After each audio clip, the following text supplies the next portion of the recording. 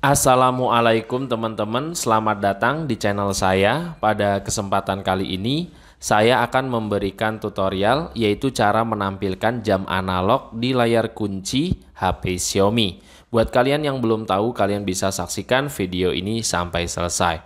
Oke teman-teman, langsung aja kita praktekkan. HP yang saya gunakan di sini adalah Poco F3. Kita langsung nyalakan HP-nya, kalian masuk ke menu setelan Kemudian kalian gulir ke bawah, kalian pilih tampilan selalu aktif dan layar kunci. Kalian klik aja.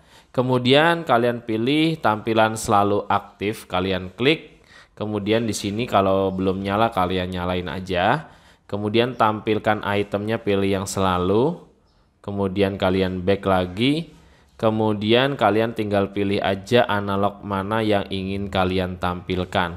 Misalkan saya pilih yang ini kemudian pilih warnanya kalian bisa ganti-ganti warnanya kalian ganti bentuknya kemudian klik terapkan. Oke berhasil diterapkan. Selanjutnya kalian back saja. Kemudian efek notifikasi kalian juga bisa ganti sesuai dengan keinginan.